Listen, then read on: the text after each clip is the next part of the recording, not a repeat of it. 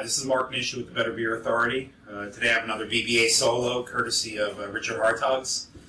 Uh, I've got an interesting looking 12 ounce bottle here, little uh, dimple at the top.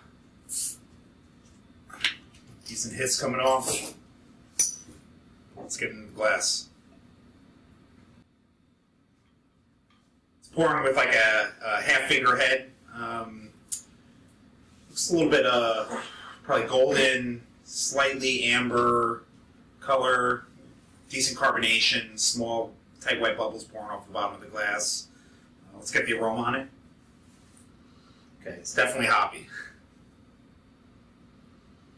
Getting, uh, I'd say mostly citrus uh, uh, flavors, uh, a little bit of orange, tangerine, uh, some grapefruit, some maybe some background pininess, herbal qualities as well. But there's definitely malts in there as well. So I'd say uh, maybe you know, some American two row, some specialty.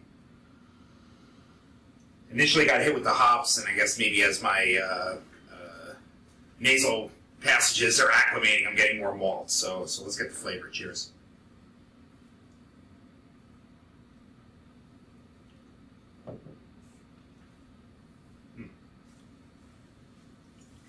Get another sip before I uh, speak. Okay, so there's a little, uh, oh, there's a, a definite pop of bitterness up front. Um, so it's probably hop hop related bitterness. Uh, the flavors continue to develop with, a, I'd say, a, a decent balance of uh, hops and malt. Again, there's a lot of that citrus, grapefruit, and uh, some background pininess. Um, it finishes pretty dry. There's maybe a slight residual sweetness, uh, but it's definitely not cloying. Uh, there's no astringency that I'm getting. Uh, definitely nice coating of the mouth uh, with the hop oils. Uh, I'd say it's pretty high ABV if I would guess to. I'd say somewhere in the seven, seven and up range. So if I had to guess, I would say this is probably a double IPA, single uh, maybe. If it's a single, it's at a higher ABV. Um, overall, I think this is a solid beer. I could definitely see myself drinking this. I don't know if I'd have more than maybe uh, one or two on a on a session, uh, but um, I'd probably give this beer um, say a seven on the BBA scale. Uh, it's definitely something I would order.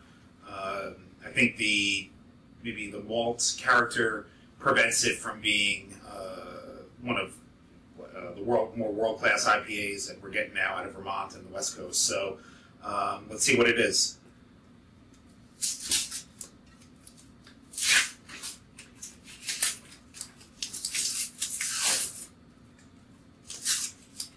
Okay, an Odell's beer. Uh, it's a Myrcenary. I've never had this beer, but I've heard great things about it, and it is a, a very good beer. This is their a double IPA. Um, they, they mentioned there was tropical fruit-like aroma. I guess that's some of the, um, uh, the citrus flavors that I'm getting. Some pungent floral aroma. Um, see if I can get the ABV. 9.3%. Um, Odell's uh, out of Colorado. Um, really solid brewery. Uh, I would definitely recommend this um, uh, to anybody who likes hop forward beers. Uh, again, this is Mark Nishi with your Better Beer Authority. Better Beer Authority.